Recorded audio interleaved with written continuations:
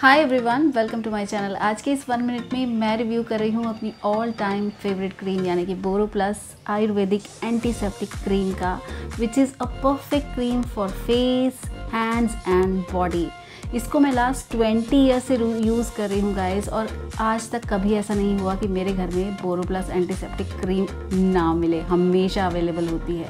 Paraben free cream है ये और फेस पर कट्स हैं या फिर कोई बर्न हो गया है या क्रैक्ड हील्स हैं या स्किन ड्राई है, चैप्ड लिप्स हैं, किसी भी तरह की प्रॉब्लम है, फेस ड्राई है या बहुत इचिंग हो रही है ड्राइनेस की वजह से स्किन पर आप हर प्रॉब्लम में इसको यूज़ कर सकते हैं।